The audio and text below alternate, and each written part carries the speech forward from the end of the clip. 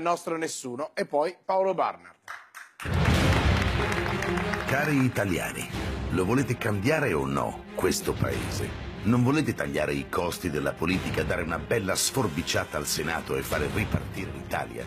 Ve l'hanno raccontata così la bella storia del referendum sulle riforme.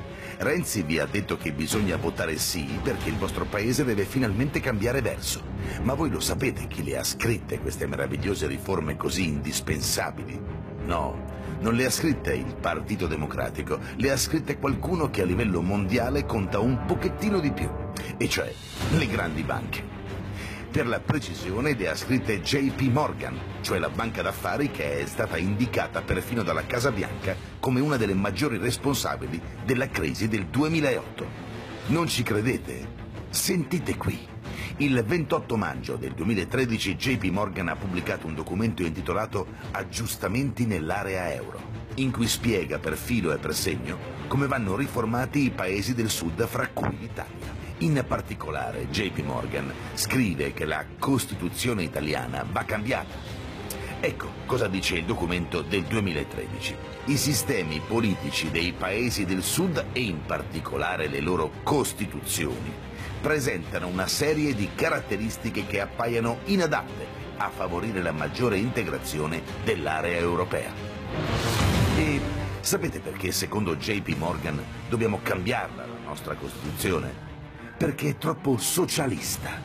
No, non è uno scherzo. I banchieri lo dicono davvero. Sostengono che la Costituzione italiana va cambiata perché garantisce la protezione costituzionale dei diritti dei lavoratori e contempla il diritto alla protesta contro i cambiamenti dello status quo politico.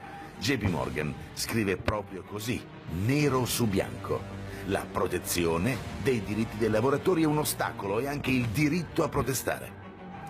Cari italiani, vi faccio una domandina facile facile.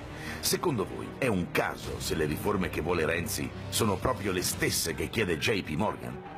Ma certo che no. Matteo sta facendo i compiti che gli ha assegnato la grande banca d'affari, ha imparato la lezione, anche perché ha avuto un ottimo maestro. Sapete chi è? è questo signore qui, Tony Blair.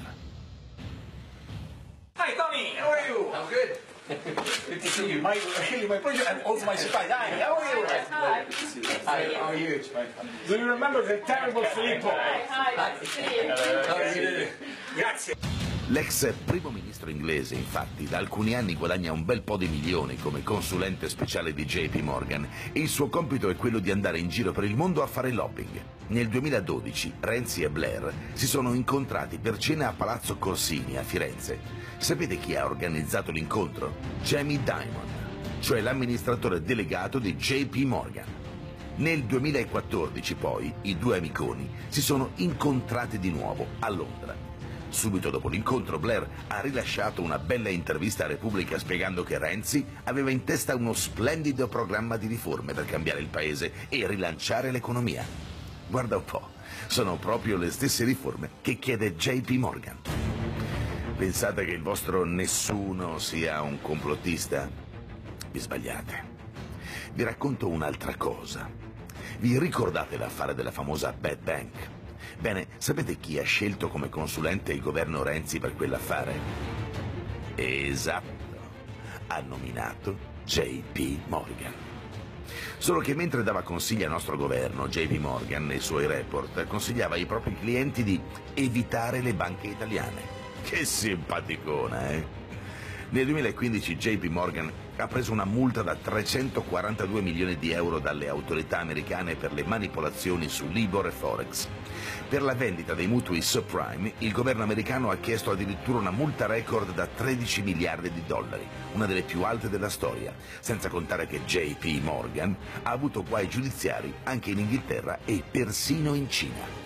Ecco da chi prendiamo lezioni. JP Morgan scrive le riforme, Renzi le esegue. Ah, mi raccomando, andate a votare al referendum e state sereni, fidatevi di nessuno.